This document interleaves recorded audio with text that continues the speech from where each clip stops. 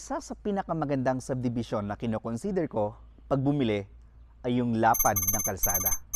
Isa pa, dapat kumpleto sa amenities. Yung amenities na hindi ko na kailangang lumayo pa pag gusto kong mag-swimming. Hindi ko na kailangang lumayo pa pag kailangan ko ng mga recreational activities. Dito lang, mismo sa loob ng subdivision. Hi future homeowners and investors. This is Rog Camacho, your licensed real estate broker. At andito tayo ngayon sa Barangay Loma de Gato, Marilao, Bulacan para ipakita namin sa inyo itong single attached house and lot na nasa likod ko ay may 4 bedrooms, 3 toilet and bath at isang car garage. And good news, dahil available po ito through bank financing and pag-ibig financing. This house is available through pag-ibig financing for as low as 34,000 pesos only. And you get this house and lot, 4 bedrooms, 3 toilet and bath, and a car garage. And now, we welcome you to our Abria model.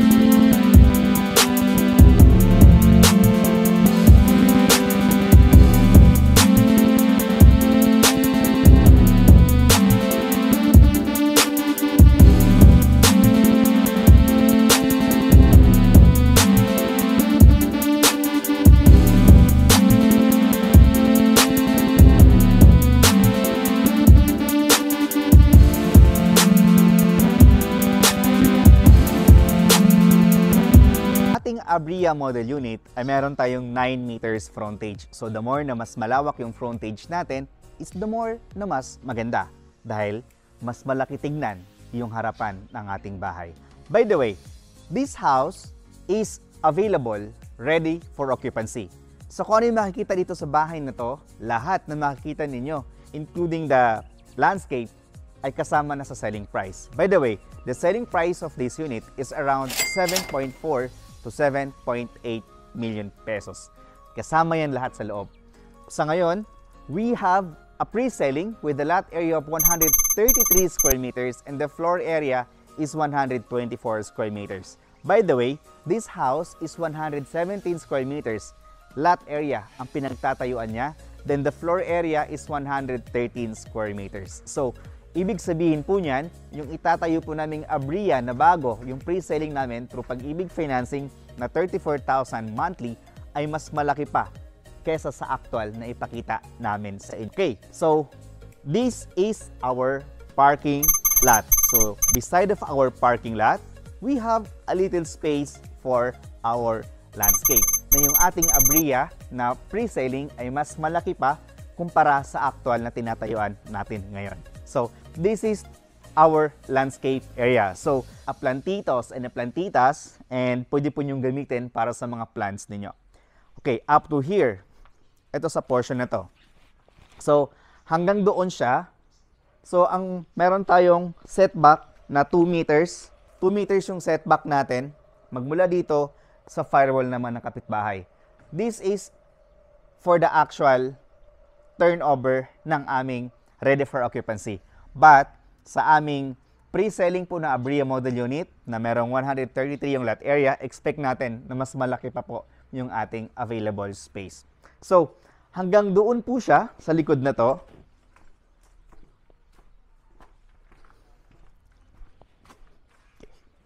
Up to here. So, meron pa rin tayo ditong space for service area. So, ito yung ating service area.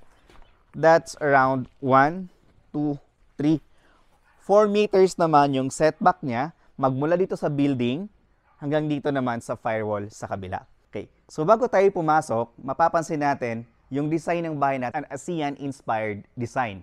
So as you can see, meron tayo dito mga claddings ng mga stones. Tapos we have the sliding window. Sliding window ng mga isang dipa that gives us an additional ventilation. Okay. So this is our parking lot. So for our parking lot, it can accommodate sedan, van, and SUV. Alright, so, okay, papasok tayo ngayon sa loob. Yung door nila, solid. Okay, matibay na matibay. Maririnig mo naman sa tunog niya. Okay, so buong buo yung ano niya, yung tunog niya. Para tunayan na yung kahoy nila na ginagamit ay solid. Alright, so we have this sliding window, I'm sorry. So, mga isang dipang sliding window. So, it promotes natural light and ventilation. So, dito naman, ito yung ating pinaka living area. So, sa living area, meron silang sofa na nilagay. You can put an L-type na sofa, tapos may center table sila. And, ang gustong gusto ko ay itong mga divisions na to that separates the living area doon sa dining area. So, pwede mo ditong ilagay, ma-mount yung TV mo sa portion na to, then the rest, yung iba mga players ninyo or yung mga displays ninyo. Okay, so mataas yung ceiling niya, although naka-drop ceiling siya, pero mataas yung ceiling niya. So ang gawa dito ng bahay nila ay purong buhos. So hindi sila gumagamit ng precast para ma-assure, may assure sa inyo na matibay na matibay po yung gawa nila. Alright, so this is our dining area. For our dining area, naglagay sila ng 6 seaters na dining table. So, nung nilagay nila yung 6-seater sa dining table, gaano siya kalaki. So, ganun po siya kalaki. Yung natitirang space, eto, yung natitirang space. So, we have this kitchen area. May mga built-in cabinets. By the way, for our 7.8 million na, na price or 7.4 to 7.8 million, kung ano yung nakita nyo sa loob, eto na yon. Pero, yung ating 6.4 million na 34,000 yung monthly amortization through pag-ibig financing, hindi po kasama yung mga gamit. Hindi po kasama yung mga naka-drop ceiling. So, painted po siya, may tiles, may partitions. Complete na rin po ito turnover sa inyo. Pero hindi po kasama itong mga uh, nakikita natin ngayon ng mga uh, furnitures and curtains, pati na rin yung mga lightings. Okay, so this is our kitchen area and this is our dining area. And at the back of this is our service area. So, pwede ka pa dito maglagay ng maliit swimming pool eh. Kasi nga, malaki yung lot area mo. I think uh, 133 square meters. So, nasa sa'yo kung, magka, kung gusto mo maglagay pa ng maliit na swimming pool sa portion na to. Okay. So, sobrang ganda ng bahay nila for as low as 34,000 yung monthly amortization. Okay, so andito tayo ngayon sa maid's room, yes, or PWD room. Kung meron kayong kasama sa bahay na medyo matanda na, na hindi na makaka- makakaakyat sa taas, then we have a little space here para sa inyong minamahal sa buhay. Then naglagay sila ng cabinet, tapos meron itong maliit na table, tapos dito yung anilang single bed. So, malaki pa din yung ating rooms. Malaki pa din siya. Okay. So now, let's proceed to the toilet and bath. So for their toilet and bath, meron silang 3 steps. 2, 3, papunta dito naman sa kanilang toilet and bath. So for their toilet and bath, they are using Artes Artist Mayor. Artist Mayor. So, Artist Mayor. So, double uh, flush yung gamit nilang toilet and bath. Pinabonggang lavatory. Pinabonggang shower area. So, yung, yung tiles nila from floor to ceiling. So, yung tiles nila, pinag-isipan ta nilagay nila kung ano yung uso ngayong mga tiles, yun yung ginagamit nila. So, malamang yung architect nila is millennials. yun. So, ayan, yung shower head niya. Tapos may itong lagayan ng mga soaps. Okay. So, maganda. Perfect. For me, perfect na perfect yung kanilang toilet and bath. Okay. So, next is our stairs. So, for their stairs, they are using concrete stairs, tubular steel, and yung handrails nila ay kahoy. Okay. So, dito, uh, pwede ka maglagay dito ng malaking chandelier para magbigay sa'yo ng ilaw paakyat sa taas. Tapos, pag akyat mo dito sa taas, mayroon tayo ditong hallway na malaki. so, naglagay sila dito ng upuan. Welcome pang-welcome na upuan. Oh, andiyan ka na pala! so, okay. Ganon. So, first, unahin ko yung pinakamaliit na kwarto nila. Sa pinakamaliit na kwarto nila, pwedeng magkasya kahit queen size bed. Ganun po siya, kalaki. Teka lang, mainit. Ah, ah, teka. Ayan. Buksan natin yung ilaw. Okay. So, okay. Gusto ko lang i-highlight, guys na this house, they are not using a drywall pagdating dito sa second floor. So sa second floor, they are using what kind of vinyl tiles. So vinyl tiles, akala mo tiles siya na ceramic tiles, pero it's a vinyl tiles. Then, pagdating dito sa second floor, they are not using a drywall. Buhos po siya. So ganun po siya katibay. Okay, pasukin na natin See? First room. Okay, for their first room, they have this isang napakalaking bintana plus additional malaking bintana. So, pag tinanggal mo lahat yung kortina nila, tinanggal yung kortina nila. Okay, maganda sana pag ang ginamit nila dito is yung window blinds, no? Para ganun-ganun na lang. So, ayan siya. Meron siyang dalawang bintana na nagbibigay sa atin ng additional lamig sa gabi. Okay, so they put this single bed, tapos may sila ditong table. Pwede ka dito maglagay ng infinity mirror. Infinity mirror para sa ating mga anak na babae. Kasi mahilig sila magpaganda eh, no? Okay. Or para sa ating anak na nagbinabae. Okay. Okay. So, pwede ka maglagay ng infinity mirror dyan. Tapos meron ditong maliit pa na, na table. Tapos, naglagay sila ng malaking cabinet. So, ganun siya.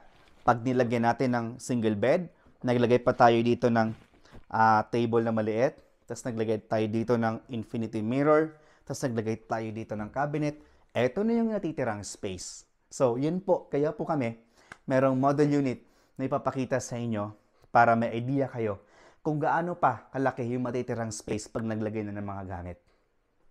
Okay. Next is our second room. For our second room, ito talaga bongga. Mas pinalaking sec mas pinalaking rooms. So here separate na single bed, single bed. So kung may dalawang anak ka na lalaki, pwede mong pagsama dito.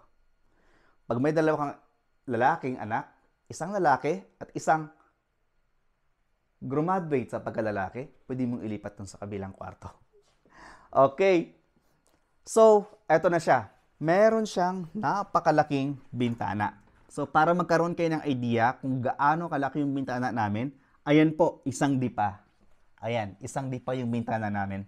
That gives us an additional uh, natural light pag binuksan mo itong mga kurtina na to. Hindi mo na kailangan magbukas ng ilaw. Hindi, tuwing gabi na lang. Okay. So, meron sila itong dalawang, upo, dalawang higaan na single bed. Naglagay dyan sa center ng center table. Tapos, meron ditong space for their cabinets. Then, again, meron ditong pwedeng lagay ng infinity, infinity, pwede mo siyang gawing infinity table, tapos, or study room. Okay, so ayan yung mga natitirang space for our second bedroom. Okay, next. So, next is our common toilet and bath. So, for our common toilet and bath, as you can see, from floor to ceiling na rin yung ating tiles. And this is our shower area. Okay, for our toilet and bath, for our toilet bowl, they are using again Artist Mayor and of course for our lavatory. Tapos meron siyang window, maliit na window para singawan palabas. Tapos dito, yan, lagayan ng mga sabon natin, kung ano-ano pang pwedeng ilagay mo dyan dito sa loob ng CR. Okay, so next is our master's bedroom.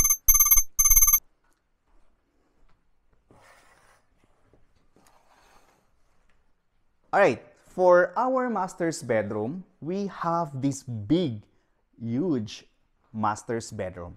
I think it's around 4 by 3 meters. 1, 2, 3.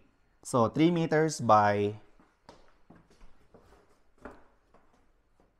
1, 2, 3, 4, 5. Guys, it's 3 by 5 meters yung laki ng ating master's bedroom. Then, we have this wide, wide window for air ventilation and natural light.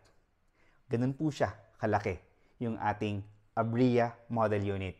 In fact guys, mas malaki pa yung ating Abria model unit na itatayo na 34,000 per month. Because this Abria model unit, area of 113 to 117 square meters than or kesa sa ating itatayong bagong Abria model unit na merong 124 square meters na floor area. So, eto, uh, expect natin na mas malaki pa yung ating Abria model unit na itatayo doon sa pre-selling. For this unit, uh, we have 113 to 117 square meters yung floor area. And this house, sa lahat ng mga nakikita ninyo, this is available, this is available for sale worth of 7.4 to 7.8. Mamaya, uh, aalamin natin kung magkano yung exact price for this unit. Then, wala tayong balcony for Abria, but later on, pag gusto niyo pong magpalagay ng balcony, we can put a balcony here. So magmula doon. Okay, so last, ang sisilipin na natin, anong ganda yung kanilang toilet and bath. So, for their toilet and bath, okay, ito siya. Ang laki ng toilet and bath niya.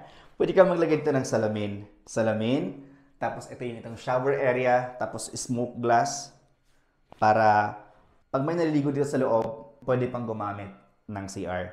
Then also, we have this toilet bowl by Artist Mayor and this lavatory by Artist Mayor.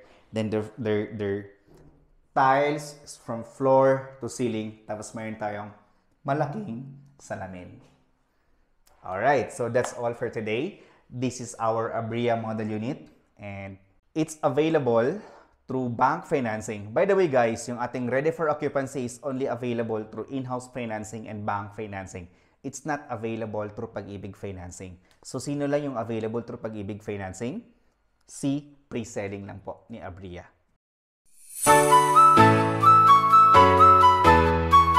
Alright, this is it. Para malaman natin kung magkano yung price ng ating ready for occupancy versus our pre-selling. So, First, for our ready for occupancy, with a lot area of 117 square meters and the floor area is 116 square meters. As you can see, it has 4 bedrooms, 3 toilet and bath, and a car garage. The price is 7,081,000 pesos. Yung down payment niya is 2,974,000. Bawasan natin yung reservation fee na 50,000 pesos. Ang matitira po nun, i-divide natin for 12 months.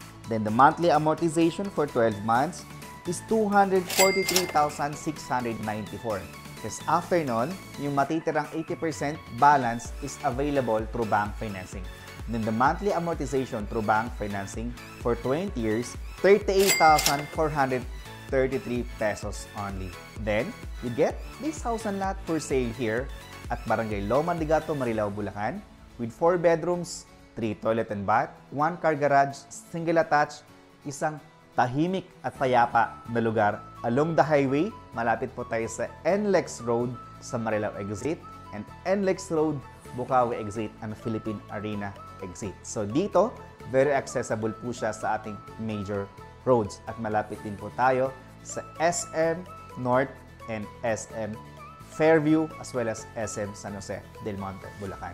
And this house is 100% flood-free although we are here at Marilao, Bulacan, pero 5 minutes lang ando na tayo sa San Jose del Monte, Bulacan. So sa mga working dyan sa Quezon City, Caloocan, if you are looking for a house and lot na malaki at isang isang bahay na naghahanap ng dekalidad at magandang community, executive style na subdivision, then go for our Alegria Residences and get this house, Abria Model Unit.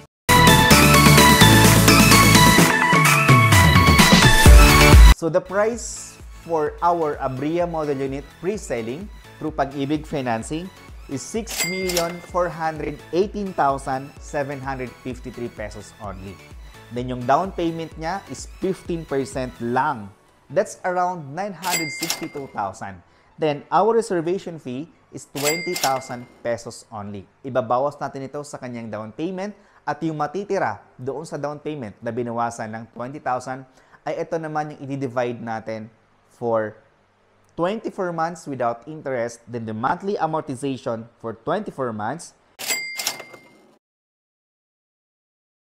And after that, yung remaining balance na 85% ay yun na po yung ilo-loan natin kay Pag-ibig Financing or kay Pag-ibig. Yung monthly amortization niya for 30 years through Pag-ibig Financing is around 34,000 pesos only. Then you get this house and lot with 4 bedrooms, 3 toilet and bath, 1 car garage. Here at Alegria Residences. So, usapang bonus naman dito sa ating Abria Model Unit.